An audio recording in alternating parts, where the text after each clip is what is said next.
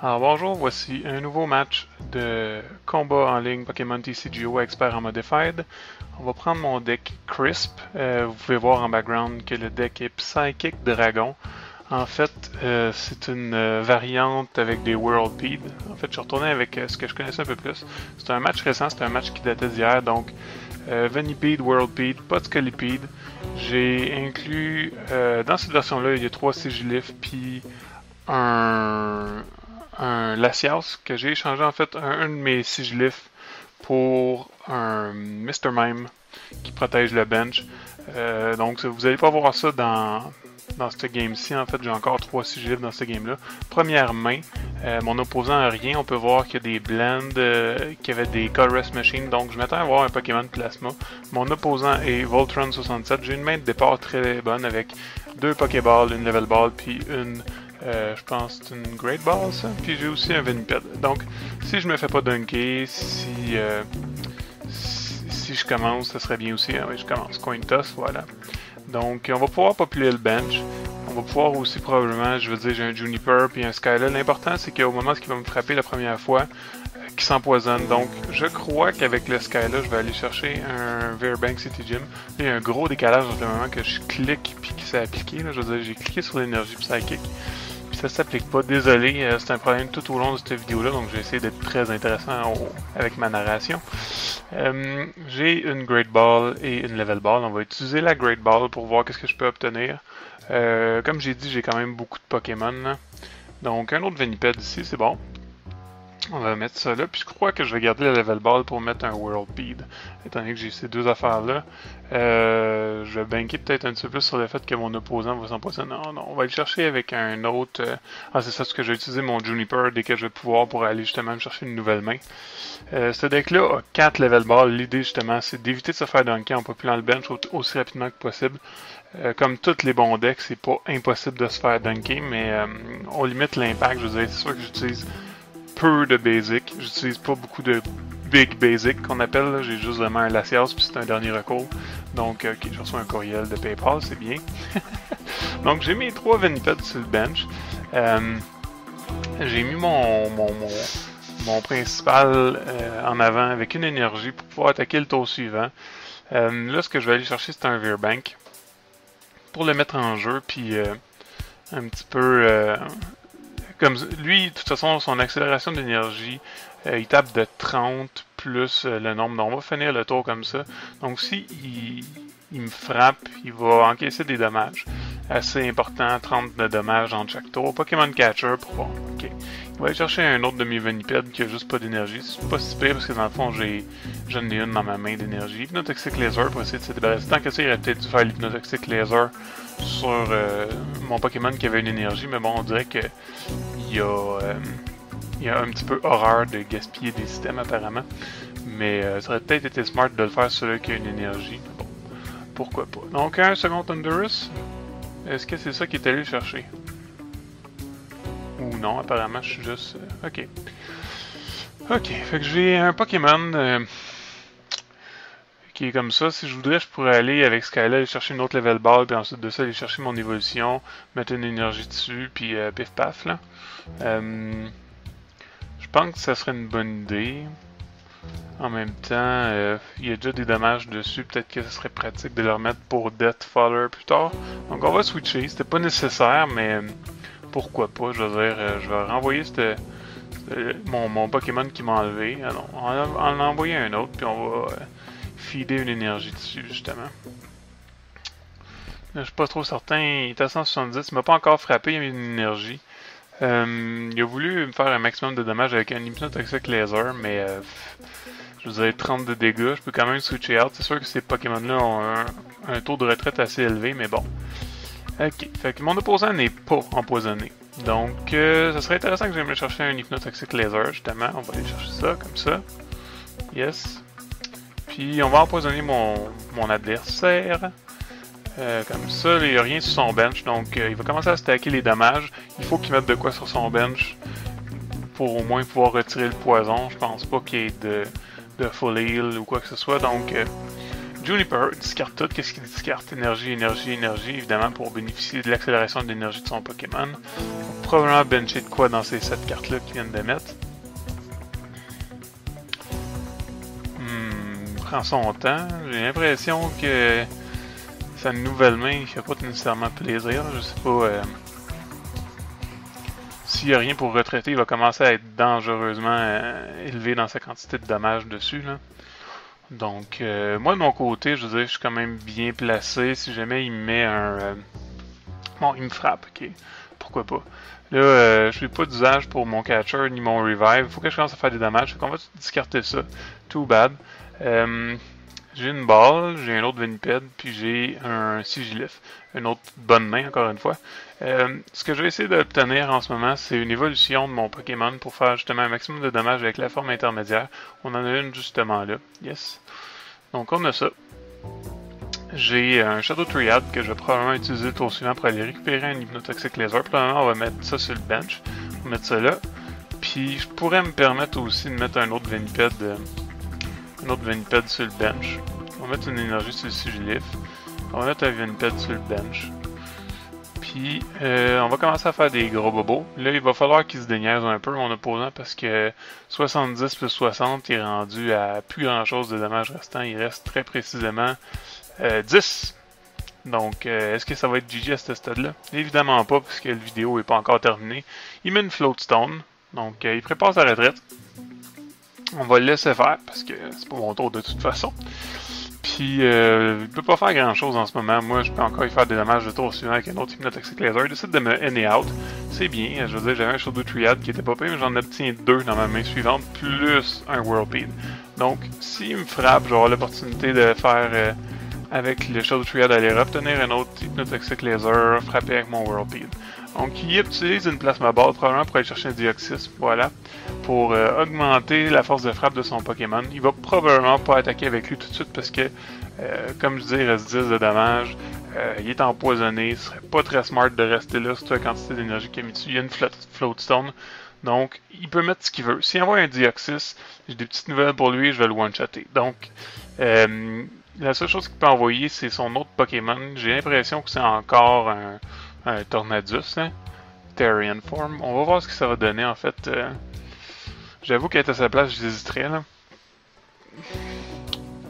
Il a-tu mis son énergie du tour? Je sais pas. Je pense pas qu'à ce stade, ça soit vraiment important là. Euh, mon bench est plein. Euh, je peux pas dire que j'ai un, gros fret setup en même temps dans mon deck là. On pourrait dire que je suis pleinement setup de mon bord. En même temps, j'ai un sigilif faudrait vraiment, bon, utiliser un switch. OK. Pourquoi, je sais pas, il aurait pu faire une retraite. C'est tout à fait euh, similaire, je veux dire. Euh, ça, c'est un Lugia. Ça m'a l'air d'être un Lugia EX. On va regarder. Euh, on va regarder. Oui, c'est un Lugia. Donc, il n'y a pas d'accélération d'énergie en place en ce moment. Probablement qu'en fait, c'est pour ça qu'il hésitait à, à retreater, c'est que il veut utiliser l'accélération d'énergie. Moi, je vais faire un sérieux dent dans son, dans son Lugia. J'ai un autre si je livre dans mes mains, mais j'hésite de le mettre parce que justement, quelque part dans mon deck, j'ai un, un Latias. Donc, j'aimerais ça me garder une place de libre sur mon bench. C'est ce que je vais faire pour tout de suite. En même temps, pas trop mettre de pression au niveau des sigilifs parce que ça prend trop d'énergie. Donc, de toute façon, il, se réveille pas. Il reste 80. Euh, Donc, s'il laisse son Lugia en place, je l'assassine. Claire. Là, à ce moment-ci, je pense qu'il doit regretter de ne pas avoir encore son Switch. Parce que euh, en ce moment, s'il switch pas son Lugia qui dormait, ben il va mourir le tour suivant. Euh, il a joué une Colorless Machine, il a attaché l'énergie sur le Lugia. Je suis pas trop sûr pourquoi. Ok, il utilise Colorless, il va aller chercher 6 cartes. C'est correct. Euh, il a attaché l'énergie à son Lugia qui est pas réveillé encore. S'il y a un switch, puis qu'après ça il retreat avec son avec son voilà, avec son Tornadus. Euh, il peut se permettre d'essayer de frapper avec son Lugia s'il a les nombres d'énergie qu'il faut, mais je doute qu'il va réussir à le faire. Donc, le move smart, ce serait de remettre son euh, autre Thunderous qui vient d'aller chercher en avant, comme ça. Puis euh, de me frapper, boosté par le Deoxys, je crois que ça va me faire 40. Voilà. Comme ça, Raiden Knuckle 40, ça permet d'attacher une énergie. Moi, je vais pas ne pas niaiser. Si j'ai l'opportunité, je vais utiliser un catcher. Autrement, euh, j'ai une énergie. Euh, je peux la mettre sur mon Sigilif. En ce moment, de son côté, il y a juste des Pokémon EX.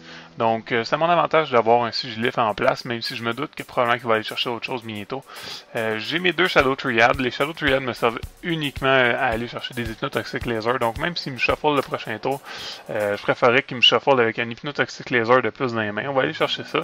Puis, ce qui vient de me feeder le Thunderous en face, ben, on va aller chercher, on va faire un maximum de dommages. On l'endort on n'ajoute pas de Pokémon sur le bench, puis on va faire encore 70 de dégâts plus le 30. Il se réveille ce tour aussi. Donc en ce moment, euh, il reste 70 d'énergie. Euh, S'il reste là encore une fois, les dommages de poison vont faire que je vais pouvoir le frapper puis le tuer le tour suivant. Euh, là, il commence à être pas mal plein. Il y a une plasma plus deux prismes sur son Lugia, donc il va être en mesure de, me tuer un Pokémon puis de me faire deux prices. De, me prendre deux prices. C'est pas un big deal à ce stade-là parce que j'ai vraiment fait un gros clean-up dans ces Pokémon. Professeur Juniper, il discarte encore des énergies pour bénéficier de son accélération d'énergie. Il va chercher cette nouvelle carte ce qui va permettre d'émettre un dioxyde supplémentaire. Puis ça, c'est un QRM de Plasma Storm. Le dioxyde booste encore sa puissance de frappe, mais contre moi, la puissance de frappe, c'est complètement inutile. Donc, la seule vraie menace, euh, c'est vraiment le QRM qui lui aussi va être boosté par le Dioxys. Il va avoir son attaque de base va être 30 plus, euh, plus 20, parce que c'est 10 par Deoxys. Donc, euh, il vient de me tuer un Pokémon, il va aller prendre deux prizes. De mon côté, je peux euh, me permettre de... J'hésite entre promouvoir le Sigilif ou promouvoir un Veniped. Si je promouvois le Sigilif comme ça, je vais forcer à commencer à me frapper avec un, son QRM le tour suivant. Donc là, j'ai une Super Rod, j'ai un Shadow Triad, un Hypnotoxic Laser, J'aurais même pas besoin de le frapper si je voudrais. Je vais mettre un, autre si je lève sur le bench pour me permettre de faire encore du setup. Euh, là, ça va me permettre de la Super Rod d'aller récupérer justement tout ce que je viens de mettre dans la discard. Le Veniped, le World Peed et l'énergie. Euh, Est-ce que je l'utilise tout de suite? Ok, c'est juste long à se faire. Bon, c'est bon. Fait que là, j'ai un Shadow Triad encore que je peux utiliser pour euh, aller chercher un autre Hypnotoxic Laser. Mais en ce moment, il a 3 énergies sur son, sur son Pokémon, puis moi je fais 50 plus 30 par énergie. Donc, c'est pas essentiel que j'utilise un Hypnotoxic Laser, mais je vais quand même le récupérer euh, au cas où. Là. Je pense pas que je vais l'attaquer avec l'Hypnotoxic Laser, je pense que je vais juste utiliser, euh, juste utiliser mon attaque normale. On va avoir une confirmation, que le jeu il se décide là. Bon, voilà. Ok. Fait que, ça, comme je disais, Psychic pour 50, 60, 70, 80. Voilà.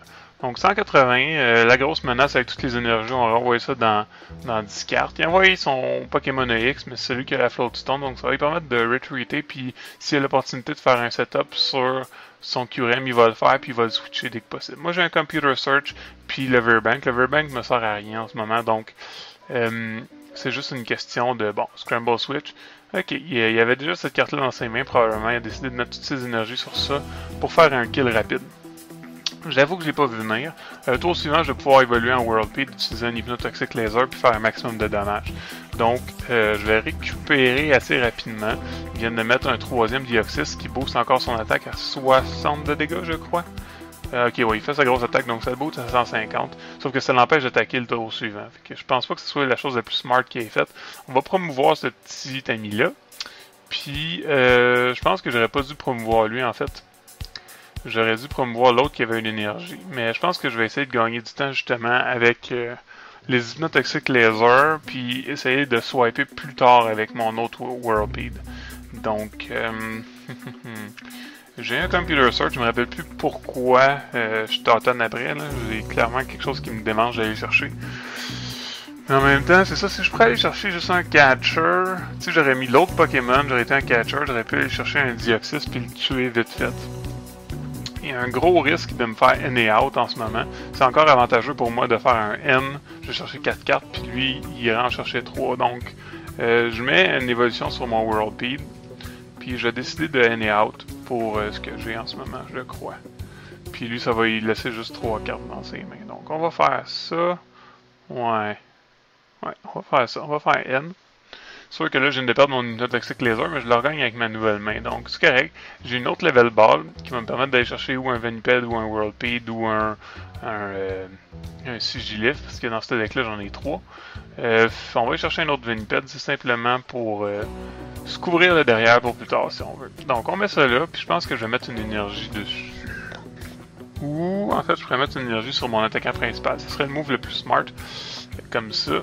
Puis j'ai encore un laser dans les mains, donc même s'il se débarrasse de mon... Euh, de mon Pokémon qui est au front, euh, je vais avoir une force de frappe conséquente le tour suivant quand même. Donc, on va y aller pour 70 plus 30. Euh, lui, il peut pas attaquer ce tour-ci, puis il reste juste 30 d'énergie. Donc, à la fin de son tour, son QRM meurt. Euh, il faut qu'il utilise un switch ou euh, qu'il retreat, là, je veux dire, l'un ou l'autre. Peu importe. S'il m'envoie de quoi en avant, il y a peu de chances que ce soit un Deoxys.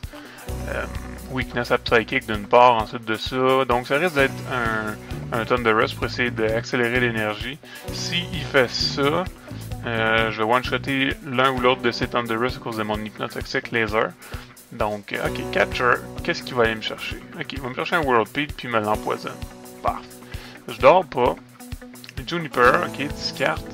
Quoi? Discarte un Deoxys puis place son bench. Ok. De toute façon, les, les Deoxys servent strictement à rien. Il y en a trois sur le bench puis sont complètement euh, inutiles dans ce cas-ci. Donc, ok, il retreat avec une Floatstone, il renvoie l'autre. Puis c'est pas même smart là, en fait. Euh, je veux dire, pourquoi tu perds pas le QRM plutôt que de perdre le Thunderous? Je veux dire, euh, il me donne deux price cards au lieu de juste une. Fait que. Euh, ah, d'accord. Que, il va me faire 30. Ah, c'est boosté, c'est. Avec 3 de plus, donc 60 plus le poison, il va me le tuer probablement en un seul hit. Donc, euh, moi, de mon côté, il faut que je prépare mon coup suivant avec le World Beat le tour d'après, puis euh, l'Hypnotoxic Laser. Euh, là, il prend son temps à jouer, je sais pas pourquoi. Euh, ok, 60 plus le 30 de poison comme prédit. Il va chercher l'énergie. Puis il va aller l'attacher à je sais pas quoi.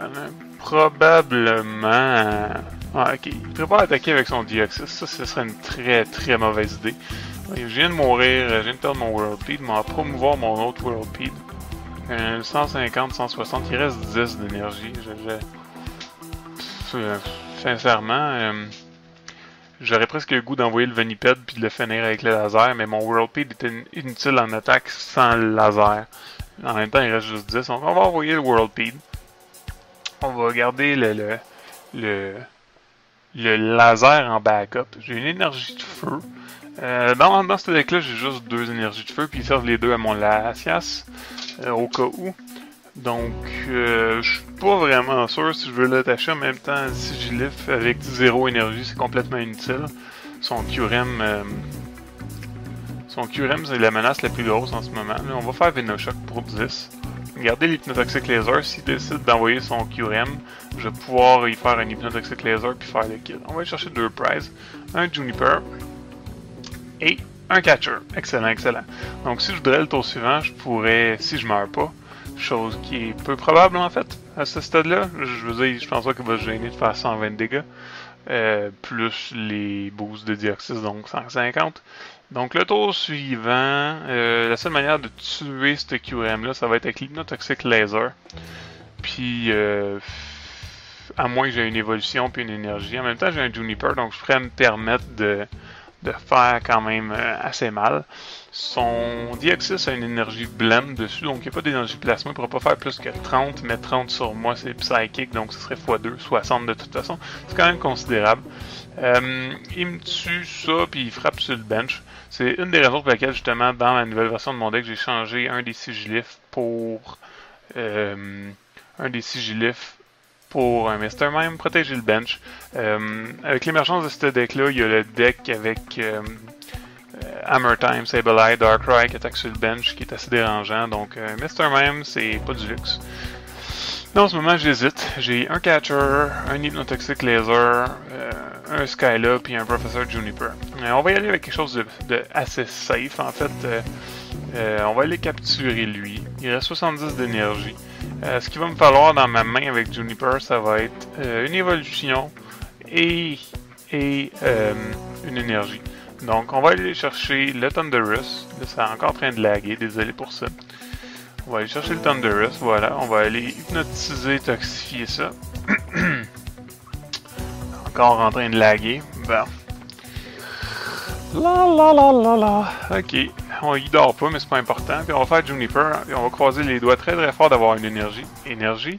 Et un Pokémon. J'ai pas de Pokémon, mais j'ai une level ball. Avant d'utiliser la level ball, ce serait assez smart de peut-être rechauffer, euh, mais avec ma canne, euh, ma canne à pêche, mes évolutions justement qui est justement là pour m'assurer que j'en ai un, parce que je veux dire, sinon je suis pas garanti d'en avoir. Là, il y a un petit lag. Ok. Une énergie, un petit, un grand. Veniped, Colipede. Puis là, je vais pouvoir avec ça aller chercher avec ma level ball, évoluer, faire 70 de dégâts. Avec le, poison ensuite, ça serait un, autre 30 de dégâts, mais c'est pas important puisque de toute façon, ça va faire le kill, fin de la partie, deux prizes, merci, bonsoir. Donc, j'espère que vous avez apprécié ce match. Euh, si vous avez apprécié, laissez un petit pouce en l'air, abonnez-vous, j'ai d'autres vidéos à venir.